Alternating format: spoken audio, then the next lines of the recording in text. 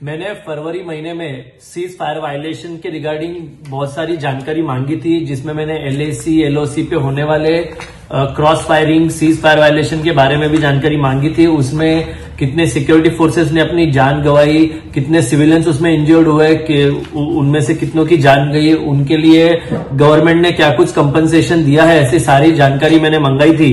जो आंकड़े मुझे लगभग छह महीने बाद मिले हैं, वो काफ़ी ही कंफ्यूजिंग करने वाले भी है और अलग अलग आंकड़े मुझे दिए गए हैं। जैसे मुझे जो 20 अप्रैल को जो रिप्लाई दिया गया था डिफेंस मिनिस्ट्री की तरफ़ से उसमें कहा गया है कि पिछले लगभग 16-17 सालों में 11,900 सीज फायर वायलेशन हुए हैं। और वही जो अभी मुझे जो मिनिस्ट्री ऑफ़ होम अफेयर्स की तरफ़ से जो रिप्लाई दिया गया है उसमें उन्होंने कहा है कि लगभग चौदह हज़ार चार सौ ग्यारह सीज फायर वायलेशन हुए हैं और ये आंकड़े सिर्फ़ 2010 से लेके 2021 तक के हैं। यानी कि 2004 के पहले के आंकड़े भी नहीं है।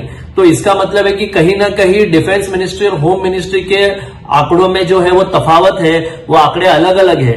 इसमें मैं ये भी नोटिस कराना चाहता हूँ कि लगभग हमारे छह सिक्योरिटी फोर्सेस ने पिछले 11 सालों में इन cross fire violation cease fire violation में अपनी जान गंवाई है। उसमें सिविलियंस भी है, लगभग वो 708 सिविलियंस ने अपनी जान गंवाई है। इंजर्ड की जो संख्या है, वो भी लगभग 150 से 200 के करीब है। और जो टोटल नंबर ऑफ़ इंसिडेंट जो है 2010 से लेकर 2021 तक वो चौदह है।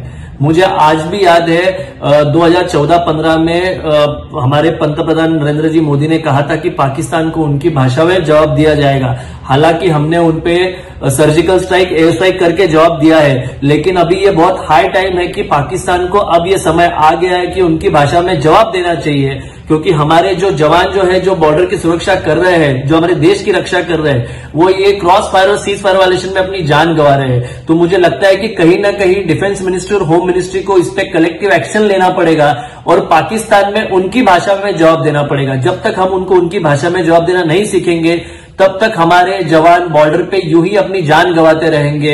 हमारे हमारे देश में ये क्रॉस सीज फायर वायलेशन और क्रॉस फायर वायलेशन ये रुकेगा नहीं। तो मुझे लगता है कि अभी इसका मोदी जी ने संज्ञान लेना चाहिए और पाकिस्तान को उनकी भाषा में जवाब देना चाहिए। वहाँ पे कोई प्रेम पत्र नहीं भेजना चाहिए, कोई विज़िट नहीं करनी चाहिए।